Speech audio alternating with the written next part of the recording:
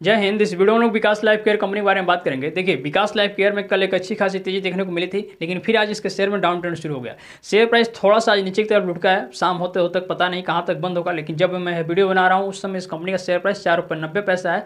आप ये समझिए कि इस, किस कारण से आखिर इसके शेयर प्राइस में तेज़ी आते आते रह जा रही है। यह कॉन्सोलिडेट रेंज में जो कई दिनों से ट्रेड कर रहा है उससे बाहर क्यों नहीं निकल पा रहा है, इसके बारे में इस वीडियो में बात होगी। साथ में कई कुछ इंपॉर्टेंट अपडेट निकल कर सामने आए हैं, उसके बारे में भी आपको मैं बताऊँगा। तो ज़्यादा देरी नहीं करते हो डायरेक्ट हम लोग बोर्ड पर चलते हैं, सारी बातें वहीं समझेंगे। थोड़ा सा आगे बढ़ने से पहले मैं आपको इन्फॉर्मेशन देना चाहूँगा कि इस कंपनी का मार्केट कैप है पाँच सौ अड़सठ करोड़ आपको यह जानना ज़रूरी होता है क्योंकि आपका अगर इस कंपनी में इन्वेस्टमेंट है आप नया इन्वेस्टमेंट करने वाले हैं तो आपको यह पता होना चाहिए कि कंपनी का वैल्यूएशन क्या है और उस हिसाब से कंपनी का शेयर प्राइस ठीक है या नहीं। देखिए शेयर प्राइस है चार रुपये नब्बे पैसा। अभी जब मैं वीडियो बना रहा हूँ तो देखिए इसमें डाउन ट्रेंड शुरू हो गया और शेयर प्राइस लगभग नीचे की तरफ़ ही जा रहा है। हालाँकि ओपन हुआ था चार रुपये पंचानवे पैसा पर और कल के दिन देखेंगे तो लगभग पाँच रुपये तक ये पहुँच गया था। पाँच रुपये से थोड़ा ऊपर ही। लेकिन फिर इसमें डाउन ट्रेंड शुरू हो गया और नीचे जा रहा है। देखिए आरएसआई भी नीचे की तरफ़ जा रहा है। आर एस हो गया और आर नीचे जाएगा तो स्वाभाविक शेयर प्राइस नीचे ही जाएगा। आप कारण समझिए कैसा हो क्यों रहा है। सबसे मेन जो कारण है ना मार्केट के अभी डाउन जाने का, उसका है रूस यूक्रेन का तनाव। रूस और यूक्रेन वाला दोनों एकदम पगला गए। सब चाह रहा है कि अपना तो बर्बाद हो ही रहा है साथ साथ दुनिया के जो बड़े बड़े इन्वेस्टर हैं, दुनिया के बड़े बड़े शेयर मार्केट्स हैं, वो भी बर्बाद हो रहे हैं उसमें निवेश करने वाले बर्बाद हो रहे हैं।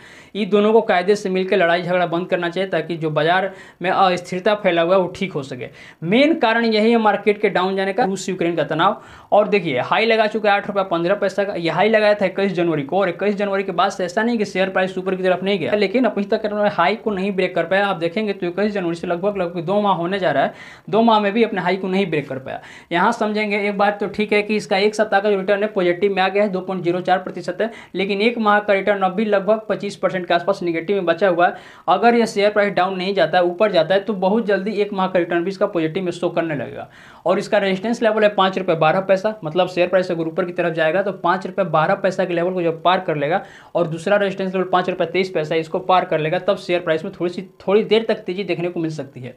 और सपोर्ट लेवल रहेगा चार पैसा, चार रुपये तिरासी पैसा और दूसरा जो स्ट्रॉन्ग सपोर्ट लेवल है चार रुपये बहत्तर पैसा। मतलब यहाँ तक शेयर प्राइस आ सक, आ सकता है गिरकर और उसके बाद फिर उठना शुरू हो जाएगा। ऐसी संभावना है शेयर मार्केट में कुछ फिक्स नहीं होता, कुछ भी हो सकता है। फ़िलहाल आप देखते रहिए आगे आगे क्या हो रहा है। और समझ समझिए, जो इंपॉर्टेंट अपडेट निकल कर आई है जिसके बारे में, यह वीडियो है उसके बारे में।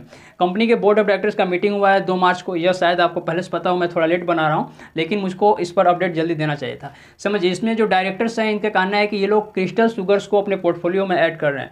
मतलब हुआ कि अपने बिज़नेस को एक्सपेंड कर रहे हैं। देखिए, ऑलरेडी ये कंपनी पहले से ही देखेंगे तो आठ दस प्रकार के बिज़नेस में लगी हुई है। पॉलीमर्स, प्लास्टिक इंडस्ट्री और एग्रो प्रोडक्ट के इसका जो मेन बिज़नेस है, उसके अलावा क्रिस्टल शुगर्स को भी अपने पोर्टफोलियो में ऐड कर रहा है। और जब बिज़नेस एक्सपेंड हो रहा है, बिज़नेस बड़ा हो रहा है तो ये लोग को ऑर्डर भी अच्छा खासा मिल रहा है। ऑर्डर मिल रहा है, देखिए कंपनी को ऑर्डर मिल रहा है। कंपनी का काम धंधा अच्छा चल रहा है। कंपनी का फंडामेंटल भी ठीक है। आप देखेंगे तो कंपनी का रेवेन्यू रिज़र्व और प्रॉफिट हर एक चीज़ क्वार्टर टू क्वार्टर इंक्रीज करते जा रहा है। हर एक चीज़ बड़ा कंपनी नुकसान में नहीं है। कर्जा भी बहुत कम है। सिर्फ़ उनतीस करोड़ का कर्जा है कंपनी के ऊपर वह भी आप देखेंगे तो धीरे धीरे कम ही होते जा रहा है। फंडामेंटल में भी कोई दिक्कत नहीं है बिज़नेस मॉडल में भी कोई दिक्कत नहीं। दिक्कत कहाँ है?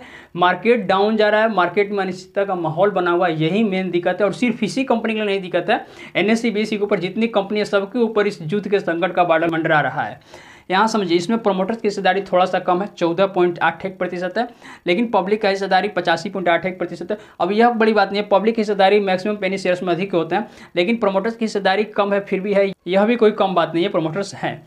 यहाँ समझेंगे, आज के दिन भी जब जिसका शेयर प्राइस नीचे की तरफ़ जा रहा है और बाज़ार आज निफ्टी बहुत भयानक टूटा है, उसके बावजूद देखेंगे तो उसमें बाइंग प्रेशर अधिक है। और जब भी किसी कंपनी में बाई करने वाले सेल करने वाले से अधिक हो तो उसको ठीक माना जाता है शेयर प्राइस ऊपर जाने के चांस होते हैं।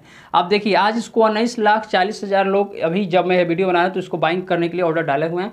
और इसको सेल कर रहे हैं सिर्फ़ दस लाख नब्बे हज़ार। मतलब खरीदने वाले लोग अब भी इस कंपनी के अधिक हैं, इस कंपनी के शेयर को। तो एक बात तो तय है कि कंपनी के फंडामेंटल बिज़नेस में कोई दिक्कत नहीं है। आने वाले समय में कंपनी भयानक ग्रो करने जा रही है। जिस तरह से कंपनी अपना बिज़नेस एक्सपेंड करे और कंपनी को ऑर्डर मिल रहे हैं तो कंपनी निश्चित आगे बढ़ेगी और अपने शेयर होल्डर्स को मालामाल करेगी। आपको थोड़ा धैर्य रखना होगा, इंतज़ार करना होगा बाज़ार को ठीक होने का, बाज़ार के माहौल को ठीक होने का। बाकी कंपनी में कोई दिक्कत नहीं है। तो उम्मीद करता हूँ आपको यह वीडियो इन्फॉर्मेटिव लगी होगी। मैं जो बताना चाह रहा था, समझ में आया होगा। अगर आप मुझसे पर्सनली जोड़कर कोई सवाल पूछना चाहते हैं, मुझसे बातें करना चाहते हैं तो मुझे इंस्टाग्राम पर फॉलो कर सकते हैं। मिलते हैं नेक्स्ट वीडियो में, तब तक के लिए धन्यवाद, शुक्रिया।